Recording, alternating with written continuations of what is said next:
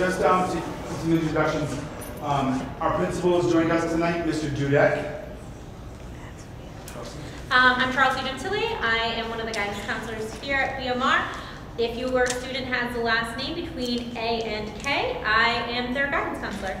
And I'm Mr. Goulet, the Director of Guidance, and I have L through Z. So our agenda tonight, we just did introductions. Um, we have for graduation requirements. Course selection catalog We'll show you where to find that. We'll talk to you about the changes in our curri- curriculum leveling that we're doing for next year. Um, we have a map of courses that your students can take by department and grade. Um, so you can follow along with that. How to choose their classroom classes for next year, and then other offerings that we have outside of the standard classroom teacher smartboard. All right.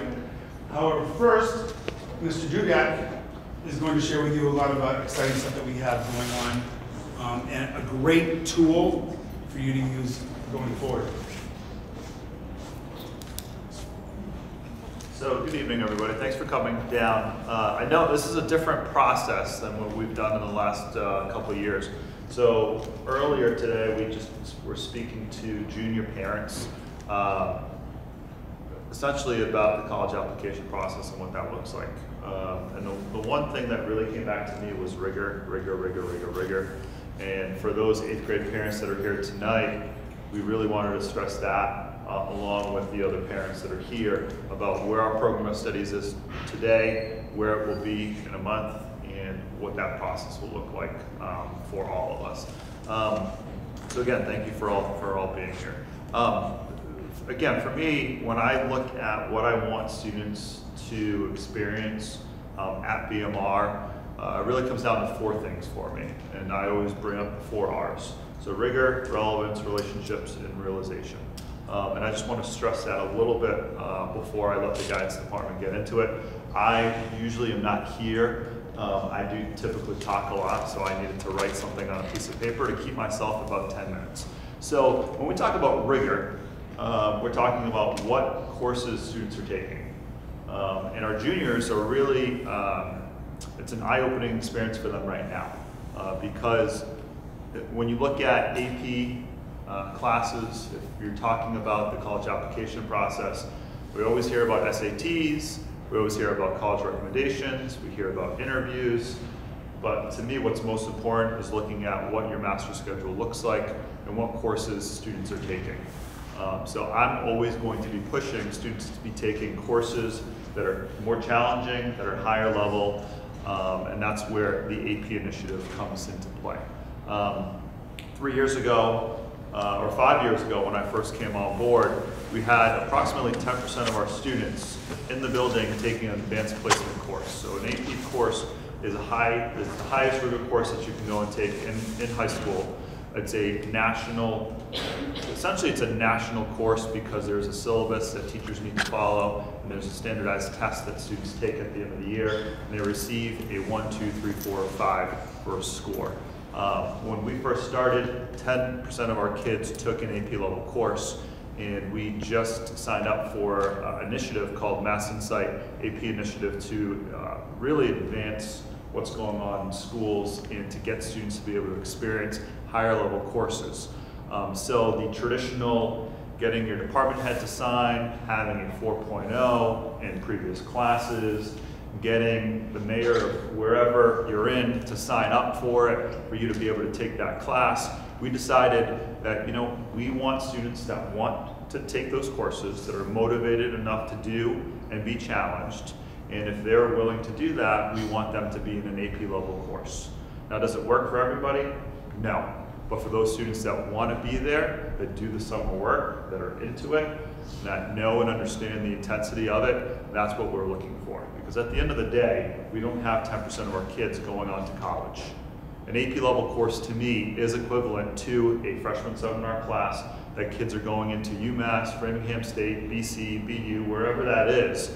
And we have a college acceptance rate of students going to about, it's about 78%. So right now we have 50, I'd say there's about 56% of our kids that are graduating with one course that's an AP. Um, and that to me, I think, is, is a really strong piece um, and what college or high school students should be getting. So in, in terms of that, rigor, I think is really important.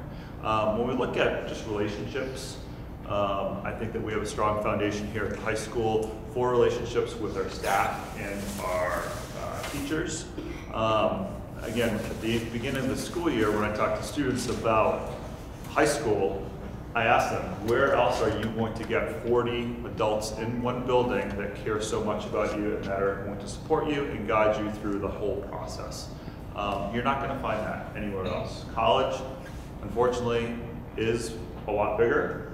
Um, there's a lot more independence, and if you want to go and see a teacher about something that you're struggling with, you need to go and sign up for office hours, which could be a Tuesday to Thursday from 2 to 4 o'clock.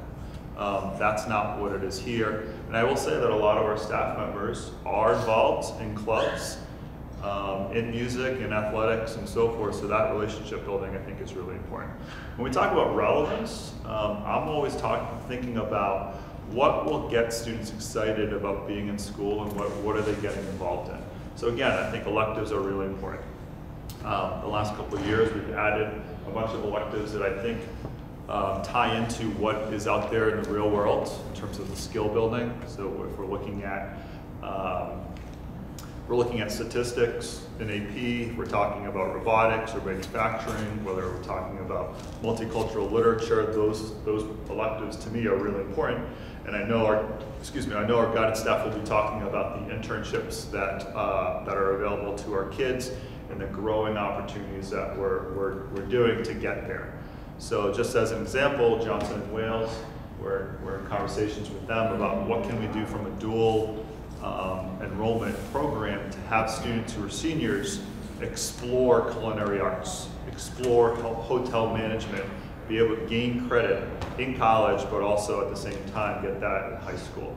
Uh, that to me is the way of, of, of high school, um, especially in a public school um, that's not vocational, that doesn't have a trade, but we're still creating those pathways for students. Um, so that to me um, is really important. And just to, to, finish, the realization that all of us can do better than what we're doing. Um, whether it's getting into college or university, it's about getting a job, it's about getting into a class that isn't just a CP class for me to get by.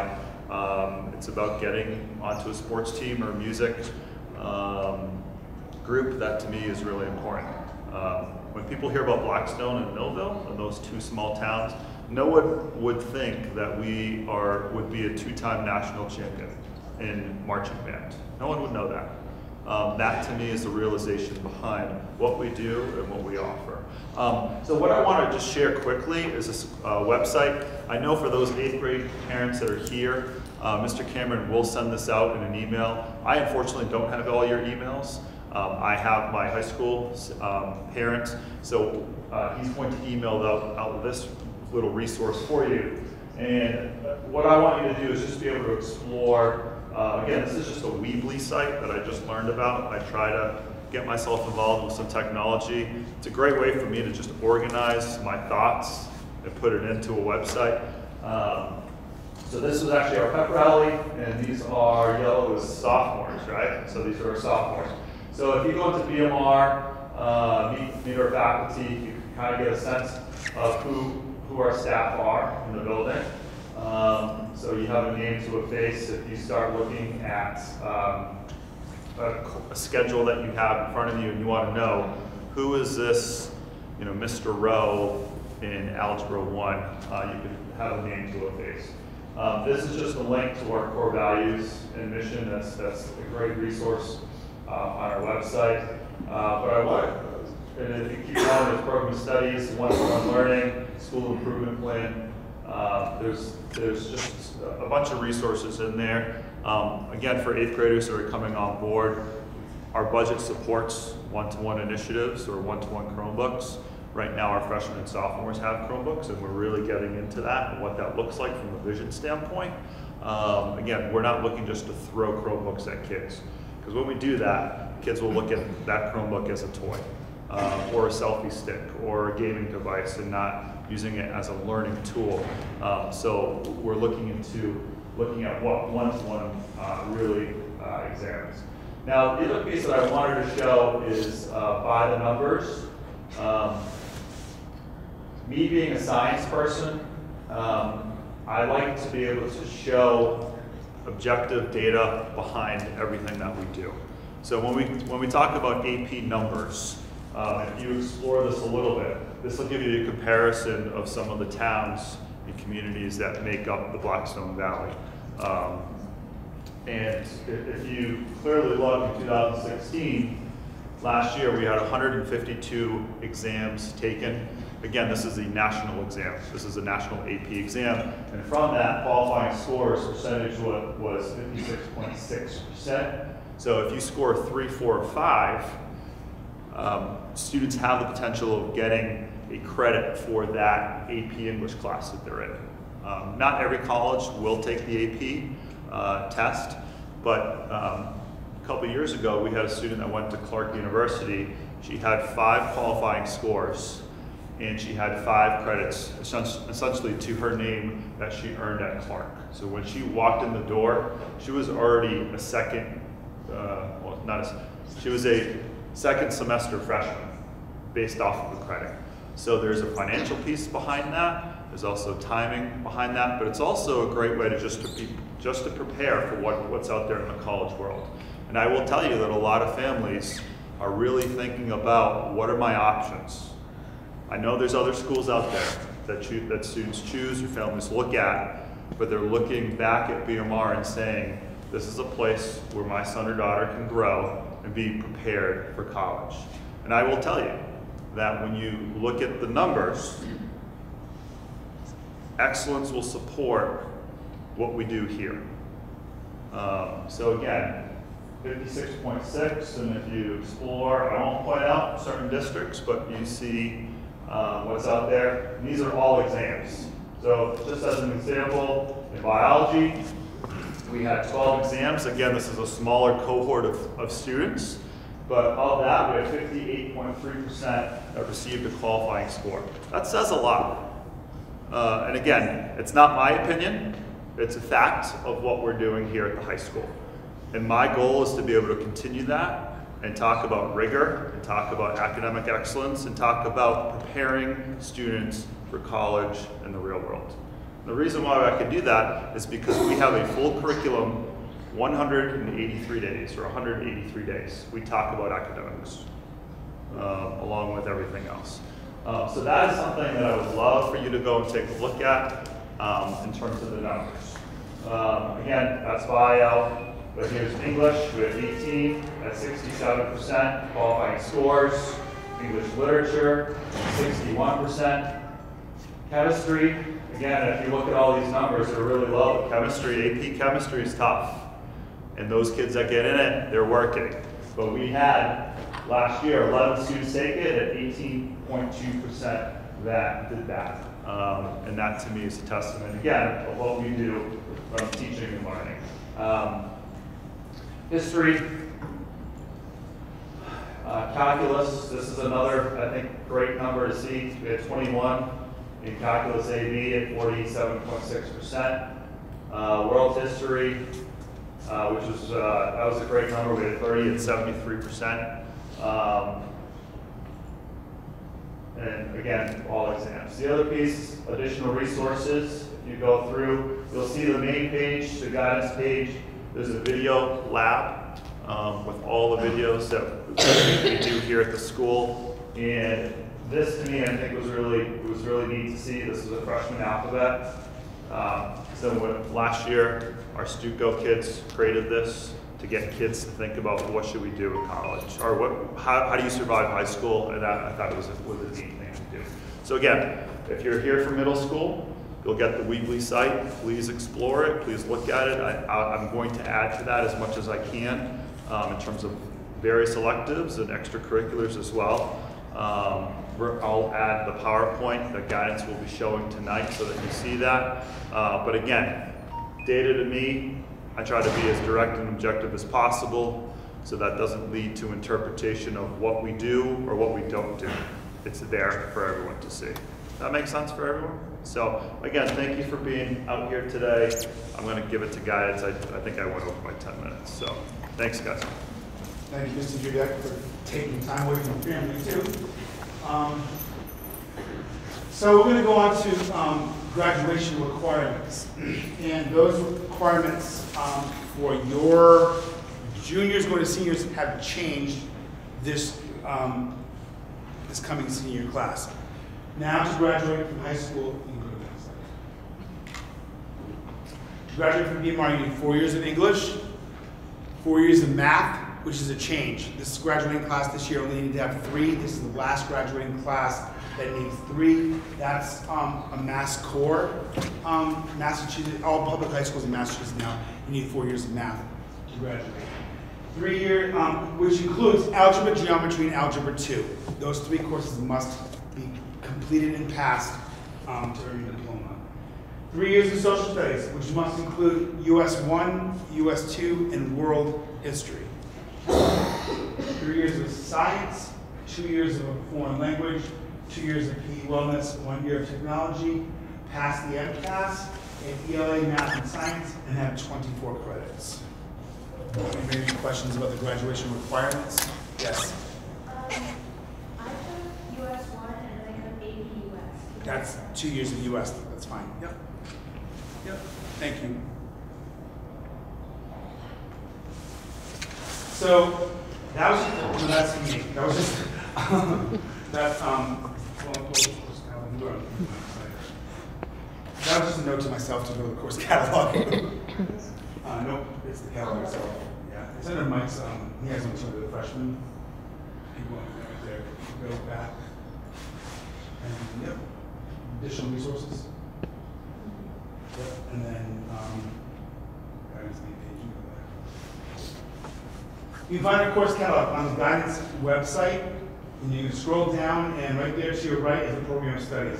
It's there in English, it's there in Spanish, it's there in Portuguese, okay?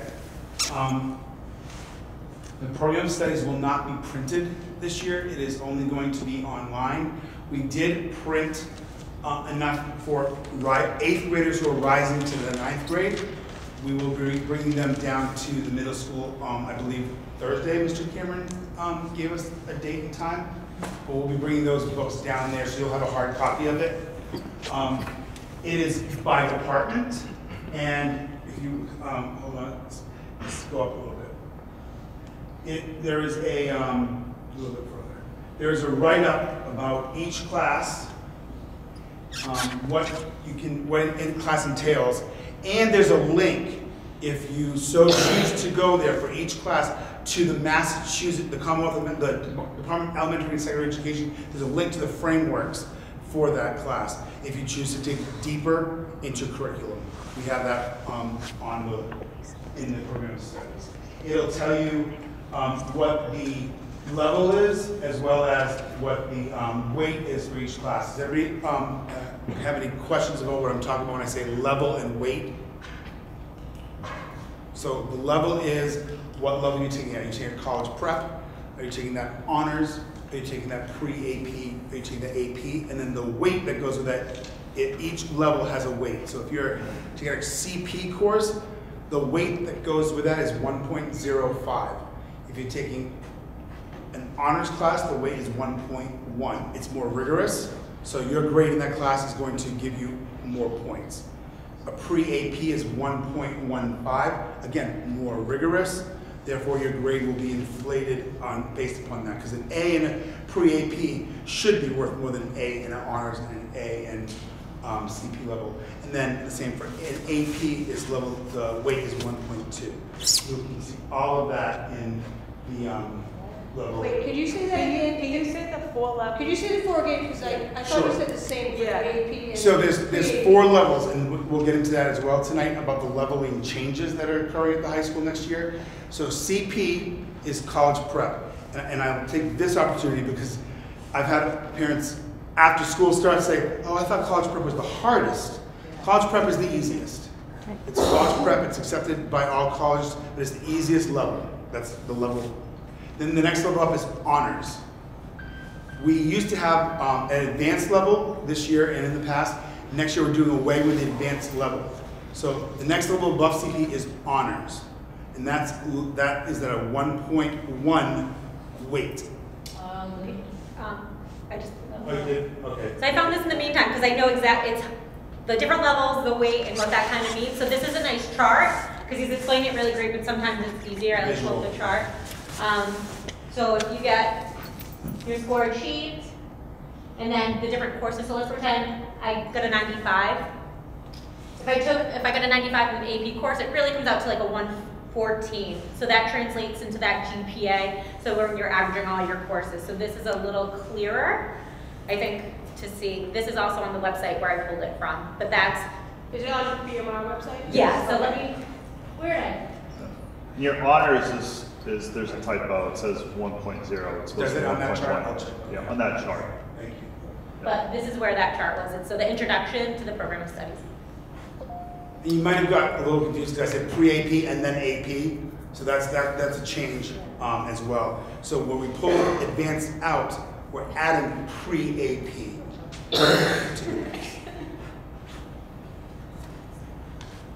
So that course catalog has written descriptions of all of our courses. It has the level to the course, it has the weight to the course, and it has a link to the Massachusetts framework so you can dig deeper into the curriculum. Okay?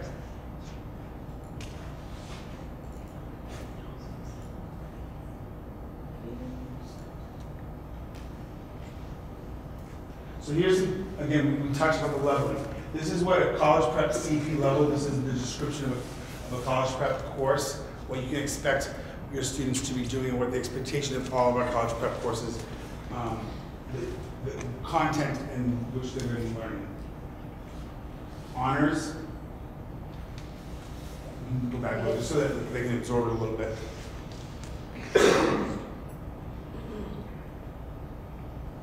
Pre-AP. I'm sorry if I'm in your way.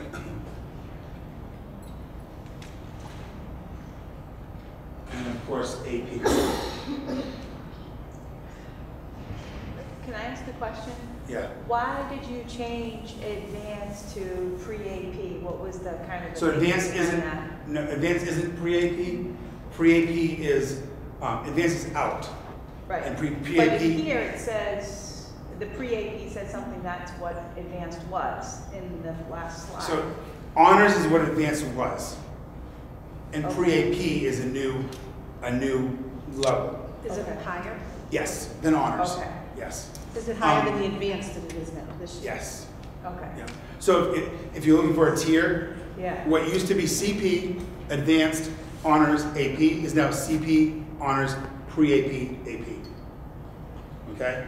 So reasoning, we had a lot of discussion as um, department heads um, and a faculty. So one of the concerns with the advanced level is colleges would some often say to me, "What is advanced level? What is that?" And I explained to them, I'd point to our profile, and they said, "Okay, so how do I level that? Because we we don't have advanced levels in college. We've never seen that. So what we did is we did some research. We looked around to other high schools, not only in this area but throughout Massachusetts. We couldn't find one single high school that had an advanced level of curriculum. Not one. Not a single school. So that led us to be like, okay, so why do we have this? because no other school has it. So what we did, is basically, we got rid of it. And other schools do have pre-AP, which is the, the if you think about it, the lead into an AP class. Um, so that's the, that's the drive that we took. What it will do, and I'm just being honest with you, is it may take a student who is in an advanced level course this year, now they have a decision to make. Are they going to, are they comfortable with the curriculum content area? Let's just use English for example, to move up to honors and potentially have to have a little bit more rigor, or go down to CP, which will be a little less rigor, and they have that decision to make. There's going to be what, what we hope will happen is that will take the CP courses that exist now and add to the rigor to make it more rigorous. And then the students who are at advanced going into the honors and potentially pre-AP to give them even more rigor. And it's gonna be, a, it's gonna be a transition that's gonna take some time to swim into, if you will, because it's a change. Um, but that's, that's, um, was, the- that was the theory. We did the research of other schools, couldn't find it, and, um, it started, the conversation started because the colleges were saying, what is this advanced thing? Yes? Are students, for these students that are kind of in between things and trying to figure themselves out with your new rank, Mhm. ranking system, are they better off going higher? Will guidance allow them to get out within the first couple of weeks Yeah. if they think they're over their head, or are they stuck? No, they're not stuck. They're not You're stuck. much better off starting high going I, I would, and trying to I would say, come meet with us, and we can look at data points. Like we can, we can look at, and there's, when I say data points, I, I mean a lot of things. I don't only mean your grade in last year's English class. I mean your attendance. I mean going into that grade and saying, okay, you had the reason why you got an 84 was because you tested well, but your homework grade was a 64.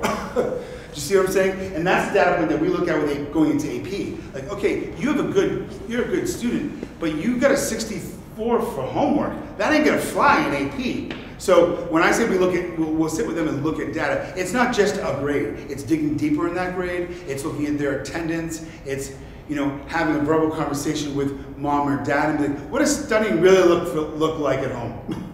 Is it? also- yeah, I do it. Do you also, when you're looking at children who are, you know, picking their courses, whatever, yes, this, the teacher approves it, do you also look at, okay, if you take this class, this is gonna be your path for when you're Yes. junior, for when you're senior, to Yeah. make sure that they can continue, like, if they're gonna go to the advanced in AP, like, if they're gonna take, you know, my son will be a, um, sophomore next year, so if he's gonna take two AP classes, is he gonna continue to be able to go on that track, or is he gonna say, okay, you took the two APs, now what's available for you? Exactly. And we're going to show you a slide of exactly what you're talking about. And how you can start it in one place and go to the next. Because let's face it, our, we're hoping that our kids add, get academically more mature.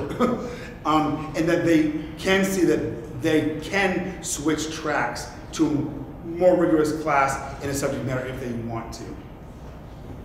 What year do you suggest they start taking AP classes in? Um, sophomore year is when they're first available. What year do we suggest you start with them? That's really a, a kid by kid basis. You know, um, we, we on we will tell you we have real conversations with students. A student I have in mind that Mr. Tilly had back and forth conversations about about a push AP US history that went back and forth so much that you would think you were watching a ping pong game. And it was a genuine conversation. It was real heart to heart, sweat to sweat, tear for tear decision. Um, and some kids, they take that risk and then they get scared. They get the encouragement from us. We, we have conversations with teachers, you know, but we, they have the opportunity to take their first AP class in sophomore year. And we'll get to that, that um, curriculum mapping that you were talking about in a moment. Sorry, no question. No. What, now, because you changed this kind of like midway for kids that have already started, Mhm. what if they're not on the right path to take an AP class next year? Um, Because have, of, because of a class that they took this year? Like if they had to, if they were put into a lower level, like do you have to take pre-AP before you? No, no, oh, okay, I see or- what you're saying. Or can you So, go I hear from what you're CP saying. to AP? Like I hear what you're saying. So pre-AP, as you hear it, thinks that you have to have it as a prerequisite to get in. That's not necessarily the case. So you can go from honors to AP? or Correct. From CP to AP? Correct. And then what if, so if they're in advanced this year, or if they're in advanced this year, will they be recommended for, or could they be recommended? Absolutely, because again, ir- irrelevant of the class that they may be sitting in, there, there's other variables. There's, there's that work ethic, there's the homework grade, there are other Oh, yeah, things. no. So, so like, you, you don't necessarily have to have the pre to get into that AP. Okay. Yeah, and with There- the AP, with the Mass Insight, we have no prerequisites right now, which is great because it does open it up. And again, if there were any concerns, you know, let's pretend, wouldn't be the case, but I want to go into AP Calc.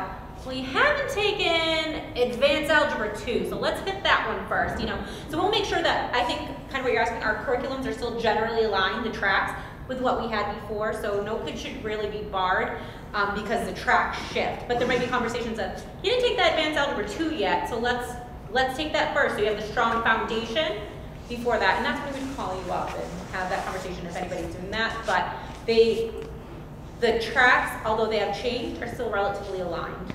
Does that make sense? And I'm gonna try to find that, where's that word out, is this it? Huh? Yeah, that should be the track. Yeah. the You're earlier grade. in this one, this is the one. Sorry, is this? No, no, this is the one, you have to go back. Oh, I'm sorry, yeah. This, no, where's the one that I emailed you? Yeah.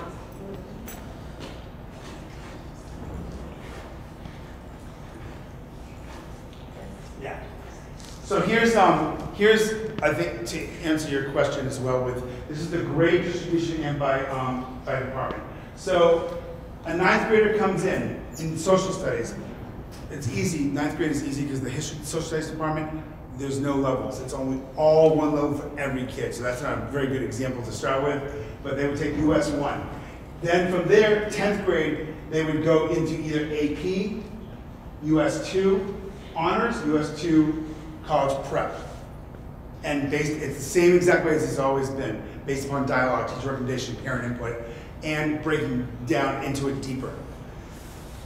What's different in the history department is the electives, American pop music, street law, and history through film are now available for ninth graders through 12th graders. They used to only be available for 11th and 12th graders.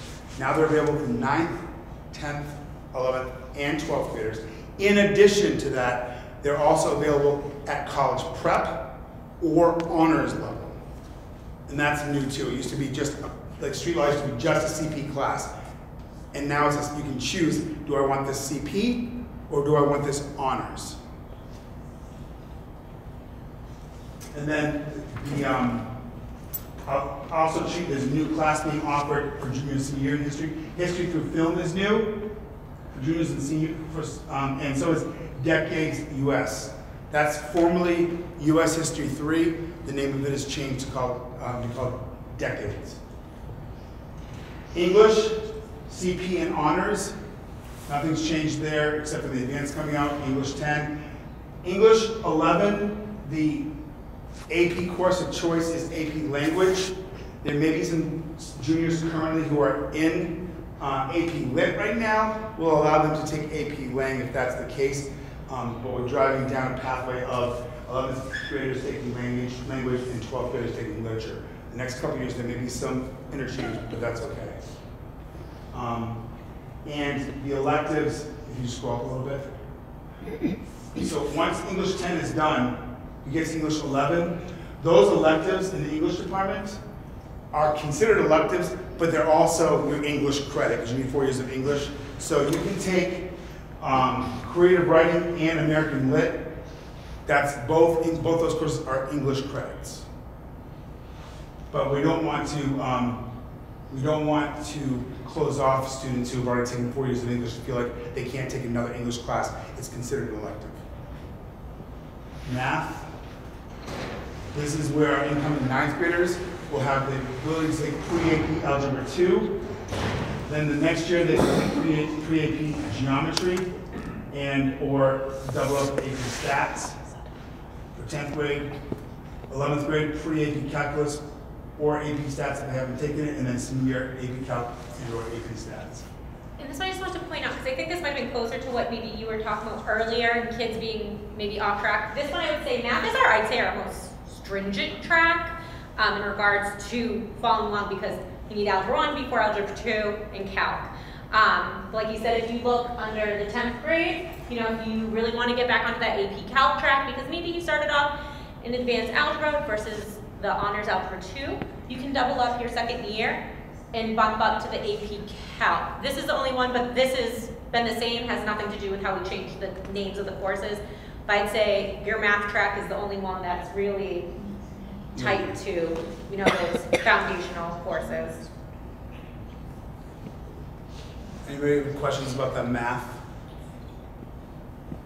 So for a student who wants to double up sophomore year to get them to be able to have the ability to take AP Calc senior year, they may double up sophomore year to get to that. Otherwise, you just can't get there. Another change we have is in the science department. Ninth graders coming in will be taking integrated science. In the past, they took biology one. And then sophomore year, biology two. So now our college prep level students will take integrated science and then biology in 10th grade. Honors students will take biology in ninth grade, chemistry in 10th grade, and they have choices for junior senior year. Or they can take the pre-AP bio in ninth grade, pre-AP chem, or AP bio in 10th grade, and you can see your options for 11 and 12. Foreign language, um, CP or honors for Spanish 1 and 2, and then we have honors level Spanish 3 and 4 and French 3 and 4. PE wellness, 9th and 10th graders have to take that. 11th and 12th graders, there are electives in PE and wellness.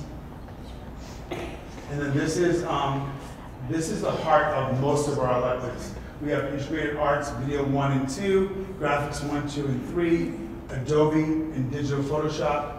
There's our, our music hasn't changed. Um, foundations arts hasn't changed. Trying um, there's a new class in technology called digital literacy, and it's going to be for no credit will be received.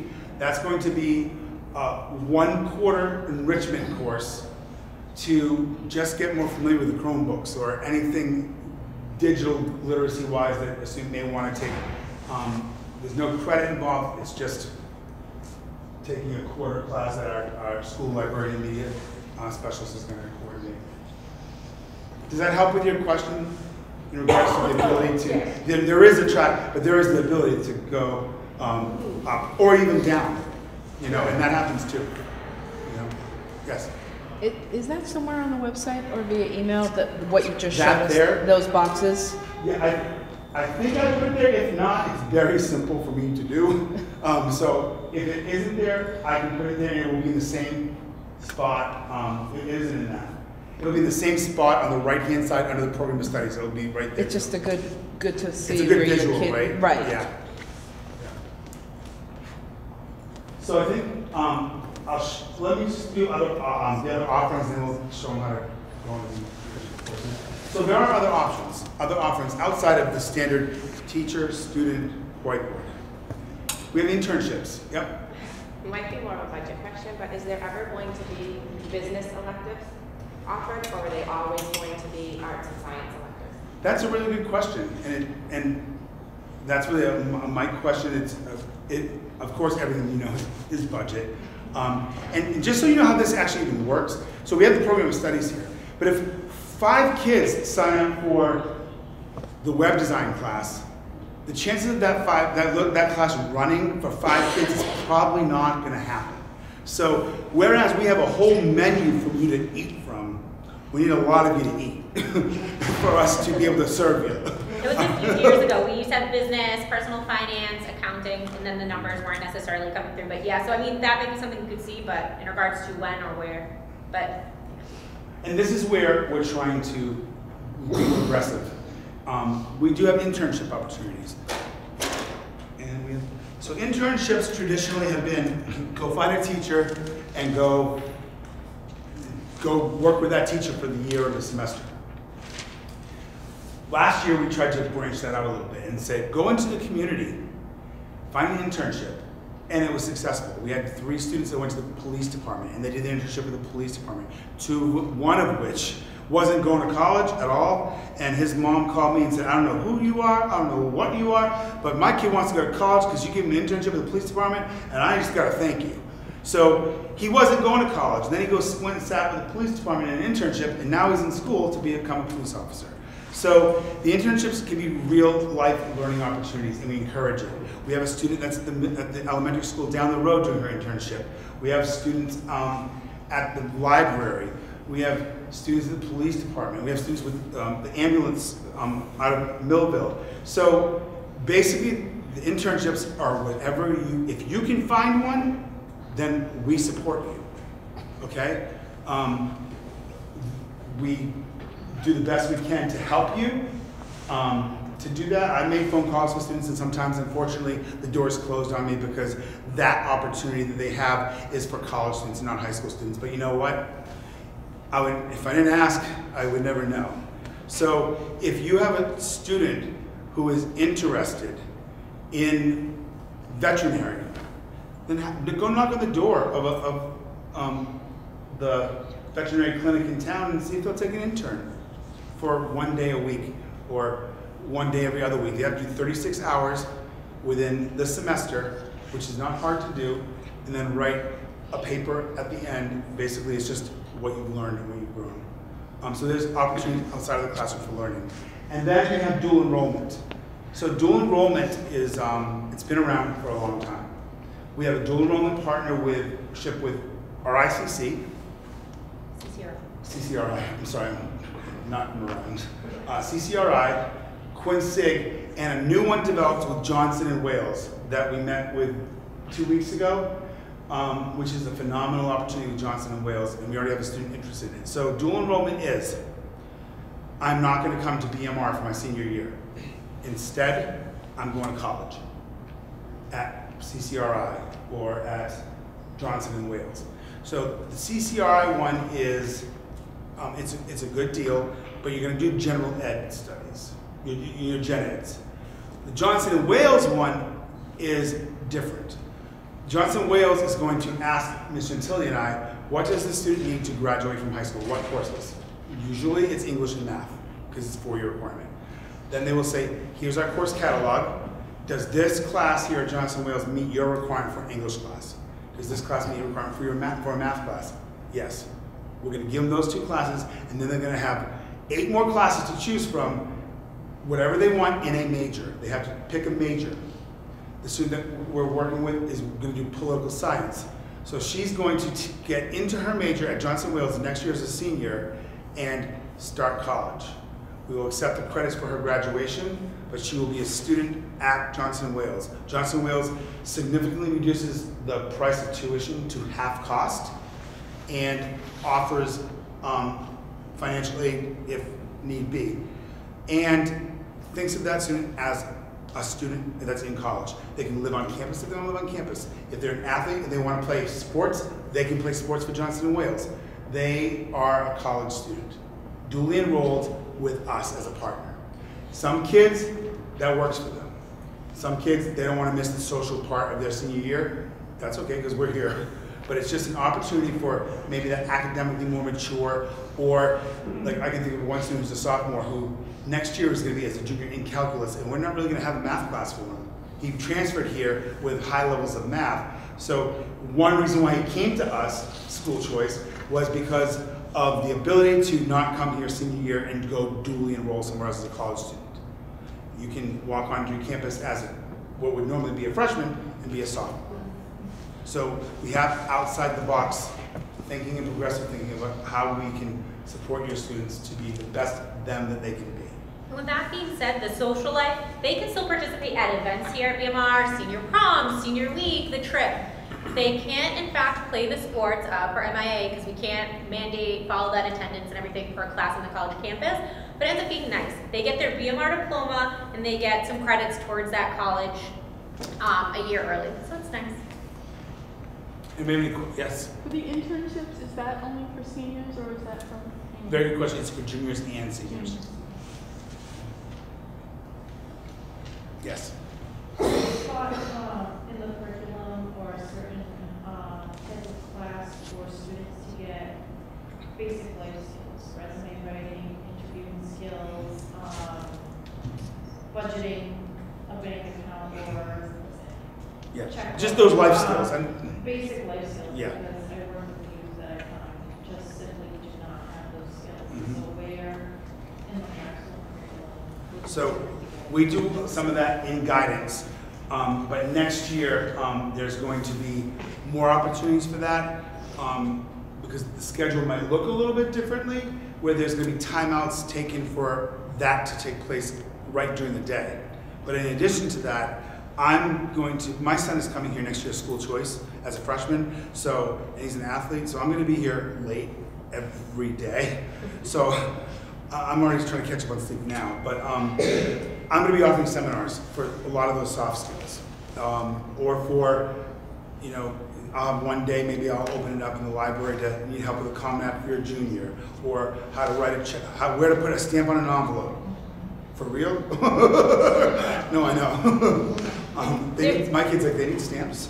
Um, No so curriculum, but we do touch base on that, and also as we kind of progress further, depending on where the students' needs are or post-secondary plans, we also start to open up workshops. I just took a whole group of uh, juniors and seniors to, um, a, I guess you could call it a career fair, but we worked on interview skills, resume skills, and they actually had people come in from workforce, um, they're in Milford to talk about kind of some of those skills, which is nice. So even if we start to identify, oh, who are those skills that kids that need to, you know, be exposed to that even further than what we do during the school day, we provide opportunities outside as well. So it's been, it was a great workshop. I think some kids are leaving some actual jobs afterwards after going there, so it's kind of neat. And, you know, it is, not every kid's going to college. So every kid who leaves this school is going to have a plan. And if it means they're going to work, they're leaving with a resume. And hopefully, you know, there's only two of us in guidance, and we do a lot social, emotional, to everything else. But hopefully, I can get us to a point where the week before graduation day, that week, we can have seminars when the kids will come I mean, instead of staying home and sleeping, come in and have seminars about, you know, finance especially, you know, how to play the game of, you, you have three credit cards, how to transfer a balance to a 0% interest rate for six months and not pay interest and play that game. How not to go on a college campus and have them in your face about getting a credit card at 25% interest and then you think it's free money. Um, those kind of things before graduation so they're aware. But it, it is um, something we just need to include. Yes? Are VHS courses still out there? VHS, thank you for reminding me that. We still have the plethora of VHS courses that are available. VHS courses um, count as a tech credit and a credit in that curriculum area. So if a student is, I just had one today actually, she's like, can my internship count as a, as a um, tech credit? I was like, no. But don't you have a VHS class? Yeah, well that's your tech credit. It's on, oh, it's on a computer. So um, we do have the plethora of VHS, and it counts as a credit towards the curriculum as well as tech credit. Is half your VHS classes count as half of the, the tech credit? That's a good question. So it, before Mr. Dudek got here, before I got here, the principal input into the VHS, that if you take a VHS credit, is worth one full credit. Even if it's a half semester long, it's worth one full credit. So it is worth one full credit. When can kids take VHS classes? 10, the 11, day or- I mean, It's really open for any student. Um, we only have 25 spots per semester. It is granted upon seniority. Um, so there's that, but we've been able to, with the exception of last year, last year, didn't we? Or Um, we sophomore? did a freshman, I think, second semester. Yeah. Um, but we even, we've been able to provide any student interested in VHS. Even last year, we ended up getting extra funding to provide students, we had such a high interest in VHS courses that we were still able to provide funding for those students to take the VHS courses. So if your kid ends up stuck in a study hall, that's a good option? Mhm. If, if they want it, yeah, and their Um, seats, it goes seniority, seniors go first, juniors, sophomores. But if there's a VHS seat, I absolutely want to use it. I don't want to have it sitting there, nothing, doing And we nothing. advertised, and I think we had some extra spots that's left this semester. And we and then- use them up. Yeah, and we ended up, because we advertised them, so we Yeah. used them It- up. Those, those, um, there was an announcement about that, like, for two weeks. And how, how is it set up, the VHS classes? So that's, so, I'm gonna ask for clarification of the question. How's it set up in the school, or is how's the curriculum set up? Because that's two different answers. Well, let's, let's do both. Okay, so the VHS is set up here is that it goes on their schedule as a class. And they go to the library media center and they do their work in, um, in the library. And Every do they day, have just- any- Do they have any support from a BMR staff? There's a, the uh, librarian is in there to provide support in regards to the technology. And then if they're having trouble with a content area, content teachers like Mr. Rowe is, uh, is available for the math help. Um, but the problem is, is that those classes are run every period of the day. So Mr. Rowe may not be off, so you can't go run to ask Mr. Rowe for help. But you can talk to Mr. Rowe to make an appointment. Um, but with that being said, it's, it's not a platform where you're gonna get a lot of support from the teacher on the other end. It's, it's very, very, very independent, very independent. And I would highly, I would actually, forget highly, I would not suggest, based on the learning on my part, that any student take a math class on VHS, especially high-level math class, because it's going to be independent, you're, you're teaching, basically you're teaching yourself. Um, and it's hard, it's difficult. The teacher on the other end is there to collect work and assign work and grade the work. They're not really there to have much dialogue with you other than that. And So it's a lot of Is there homework independence. in VHS? Yes. And we, um, those are not, we'll have conversations with those two, just as we would with an AP course, as they wanted to take physics, said, ooh, let's talk about that, because math wasn't necessarily their strong point. She ended up trying it, and she ended up dropping it because it was too tough, despite we had the teacher here. But that's, again, we have the conversation with the student, we bring the parent in, because it's important, or we had a student, they, they're actually taking a full year of Latin, that might have been last year, No, but they took this year. Latin, oh, it is this year. We don't have a Latin teacher, so we had that kind of conversation at home. Where are you gonna be able to get that support? Because no one here speaks Latin or teaches Latin. So we'll have those conversations as well if there's any kind of concerns about support within the school and where can they look for those other resources. If, the way I learn, I'm much more auditory, sitting there reading uh, passage day after day, or maybe just seeing a YouTube video here and there. It's not the best for me. That's okay. I learned very quickly in college. Online classes aren't for me. And Um, that's the variable, I think. Yeah. You know, I remember, I know a student who, that's what we learned. Online may not be the best. As you go to college, realize maybe online isn't the best way for you to take your courses. However, with that being said, the student failed the class, but scored a, a three, four, or five on the AP test. So he, he was his own best teacher, to be honest with you. so it, it's, you know, kudos to him, really. um, so the VHS is available. 25 seats per semester, each semester 25 seats. and last year we did have like an overinflation of the VHS, so we were able to get the funding for that. If there's one trickle over, not so much, but if we have that large interest, it was last year, we were able to um, go and hunt down extra funds for those extra seats. Any question, more questions? Do you want us to show you really quick how to get into choosing your courses um, on the website?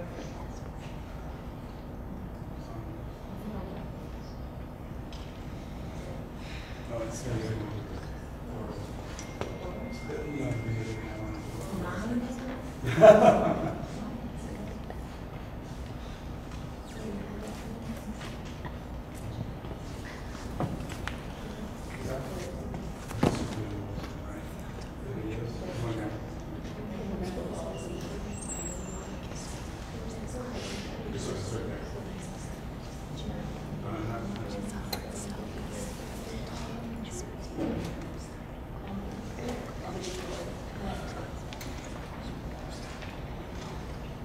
So here's a video on choosing your All right, courses. so we are going to talk about selecting and requesting courses for your upcoming year.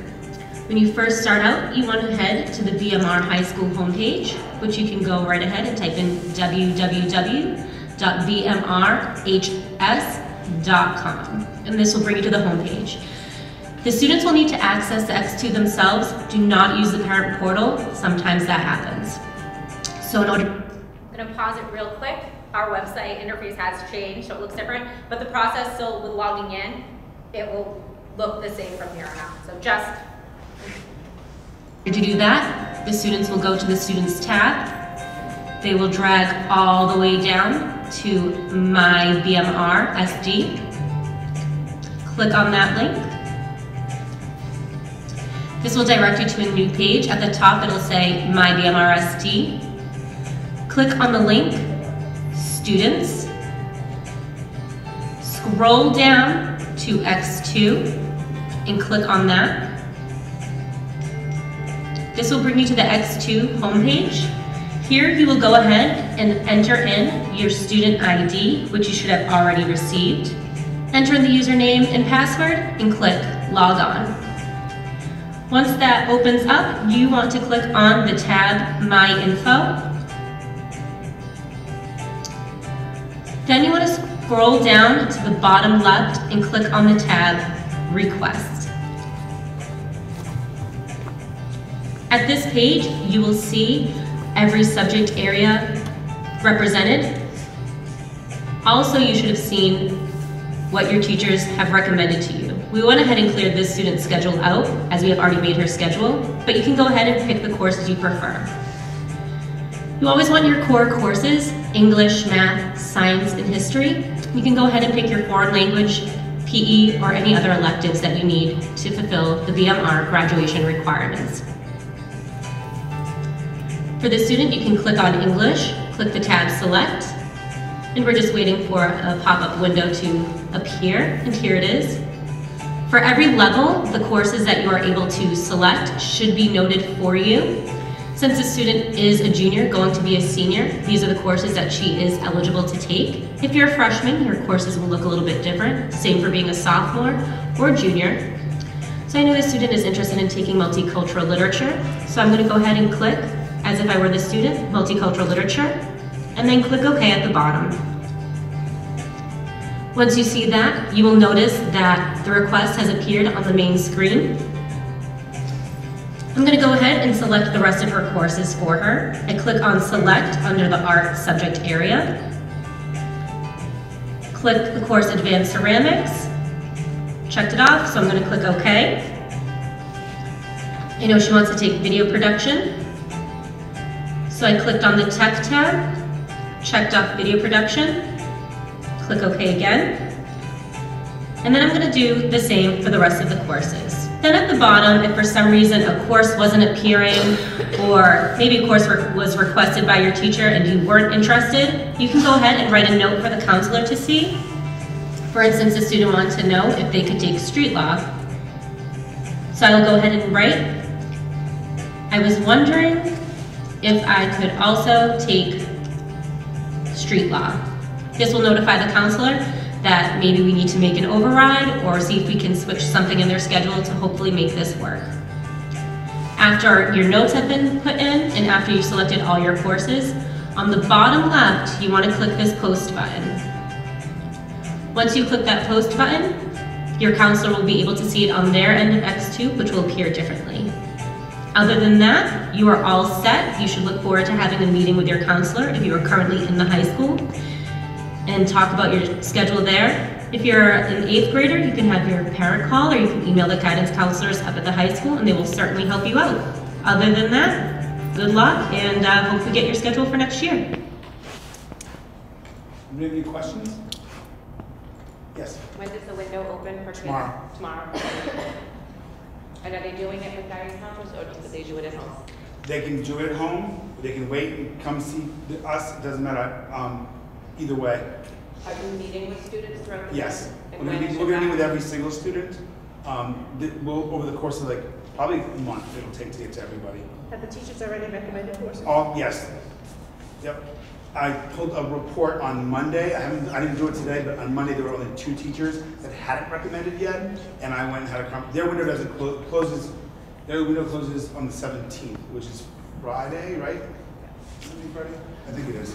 Um, their window closes Friday, but with that being said, every teacher's already done except for two, and I just, I followed up with them, and hopefully it's done now. And just because the teacher recommended doesn't necessarily mean the student has to take. That can be a dialogue between you as a family, the parent, myself, you know, it doesn't have to be that way. That's just what they recommend. Is it first come, first serve for when they want to pick classes? I'm sorry, Is it first come, first serve for when they want to pick? meet with us? No, like when they, if like if they go online and pick everything, is it? So that's a good question, actually. Thank you for asking that. So the way this works is the kids choose their schedules. Then, what's that? Their requests, excuse me, their requests. Then, like I said earlier, if only five kids want a class, that class isn't gonna run. It doesn't financially make sense. So we get all the data, we get all, and then I hand it over to Mr. Dudek. Mr. Dudek then runs a schedule for the school. He tells, he, he looks at the numbers and says, okay, there's uh, 55 kids who want English 9 honors. So I know I need three sections of that. So he tells X2, I need three sections of this. So he plugs all that in, and then he just, it doesn't automatically run. And what the system does is it creates a schedule for every kid in the school so that the system has, a, the school has the highest percentage possible of kids scheduled. 100% is ideal. doesn't really happen. So if it, let's say it's at ninety-three percent, he's run it six, seven, eight, nine times. He, he run, he ran it once, it was eighty-four. He moved where AP Lang was gonna be to a different period. He moved band to a different period, reran it, and it had a higher percentage. So that's what he does. He runs it many times, moving things around to see if he can get it to a higher percentage. Once he's done that fifty to sixty times, and he's got as high as he can get it, he, he freezes it. And that's where we come in to meet with students one-on-one to say, okay, you wanted street law, it's bumping up against APUS or it's and band. What do you want to do? Do you want to not take APUS and or band and take street law? Like how important is that to you? So that's where we have those conversations. Those conversations will be hopefully taking place this year because Mr. Dudek's goal is to have students leave this school with a schedule in their hand in June. That's, that's, I'm, I'm, I'm, that's always the goal. It's, I've never seen it happen. Hopefully we can get to that. The only problem I foresee that happening is if X2 doesn't allow us, because of state reporting, to take those eighth graders and move them into the high school before the school year is done. I don't see how that can happen, because the state has reporting that has to get. So if we move those kids out of the middle school, that's a problem. But we'll do the best we can. And if it's not the last day of school, as soon as that state allows us to move those kids, it's ready to go. And then we, um, yep, go ahead. When does it need to be completed by for selection? Um, I think the deadline is, it's a, it's a month, so if it's opening tomorrow, it's April, it's, I- it's, I think I didn't even do the April sixteenth, I think I did like the last day of vacation. Do you know what I'm saying? Like, I was like, oh, that's a week away from vacation, why not, why? Because I know I'm not gonna be able to do much with it, a week of April vacation, so just, I think that's my. but it's like a month and a week or two. It's open for a long time. Yep. Um, are you gonna be meeting with the eighth graders to talk about this, and when Yes. will they be selecting their? So I'm, um, um, we're going down there next week to speak with them, show them how, um, and have conversations with eighth graders, and I, I understand they're eighth graders, so they, you know, they're, they may come home and be like, yeah, some guy in a tie came down, but I don't know what he talked to me about. They give me this book. Um, but ask for a purple book. They- They'll come with that, and our emails and phone numbers are online, we can always, we actually encourage you, basically from this point forward, if you have any questions, call us. Because we live it every day, and we can give you the- answers that for. And if you wanna come up with the student for whatever reason, feel free to. Yep. Once we make our requests, can we change them? Um, yes, I believe, yeah. And if, and if for whatever reason you can't, call or email us. I don't see why you can't, but X2 does crazy things sometimes. And we can override like anything. So even if, let's pretend that window for request closed, you're like, oh, I can't go in there anymore because it closed. But I really want to change my elective to art, whatever it may be. Again, contact us. We can override it because our windows are constantly open within that scheduling and guidance. And with that being said, choose seven courses. Choose electives. Okay. So now, if your if your son or daughter is in band and is in ninth or tenth grade, we understand that that's your elective. You have your five majors, you have gym, and you have band. That's your schedule. Okay. But if you're not in band, make sure you choose an elective because you want a seat somewhere. And it may not be there, but you created a seat for us when we run this process. If you don't put anything, you've just done us not didn't do us a favor because we didn't create a seat for you somewhere. So if everybody in this school puts seven electives in and you want to change an elective, there's hopefully a seat somewhere for you. And it may be in a class that you may not want, but hopefully there's a seat. And the problem comes is some kids like, I want a study, so I'm only choosing six classes. Okay, you may get that study anyway, but now you just took a seat away from our school when it comes to creating courses. So choose seven courses. Choose eight. Choose nine, actually, if you want. Because then I know if you don't get into something, I know who you wanted. You know what I'm saying? Choose 10, I don't care. Because then I don't have to call you and say, you didn't get into this, but how about this? Is there an option, like when you're picking the classes to do what you just said, like, I want this, but if I don't take this, I'll take this, then maybe this, then maybe this? So there, you can oversubscribe, do it that way. And, and on top of oversubscribing, go into that notes and say, in order of electives, I want this, this, and this. That's perfect. That's, that's like my dream come true. Because I'm sitting in my pool in the summertime, I don't have to call you and drop my cell phone in the water. My laptop might be swimming there, but. Any other questions? Yeah, I have one more question, I'm sorry. No, don't apologize. What is your recommendation for, let's just say, a junior and a senior? What do you recommend for how many AP courses that they take? Like, is three too many? Is two good? What do you, what have you seen throughout your career Yeah. what we've picked? I, I don't like to see over three. I sometimes even think three is too many, mm-hmm. but there are students that can handle that kind of rigor. And we Like, see it, it. it really is a student, um, it is up to the student. However, again, I'm, I want parent involved as well, you know, and I also want them to be able to breathe. And there are some students who can do four or five. I would never, ever, ever, ever recommend it, ever. But you know what? I'm your guidance counselor for four years and you're going on in life. You're not going to remember me. If you want to do it, do it, but it's not really going to be something I highly suggest. So- And I don't recommend so you're AP on- Probably two, maybe three, but. Maybe Probably two. Maybe three. And it depends what the course is too. Like, is, is it, um, like, is it, is it AP Calc, AP Chem, and AP World, or AP Lang? You know, those AP Calc classes are hard, and those AP Science classes are hard. Why aren't you sitting next to your mom so you do that?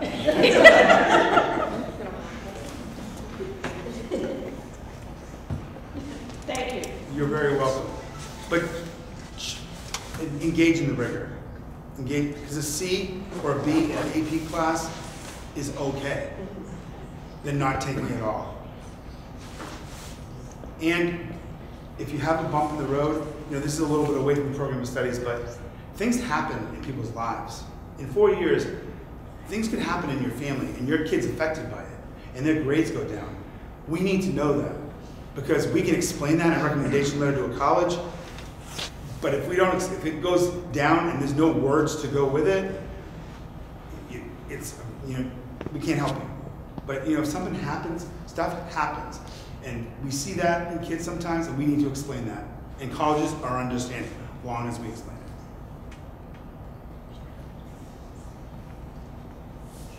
Anything else? Thank you for joining us tonight. My kid's thanking you because he hasn't seen me since 5:30 this morning, and he loves being home by himself. All the lights in my house are on, like at an airport. Thank you so much.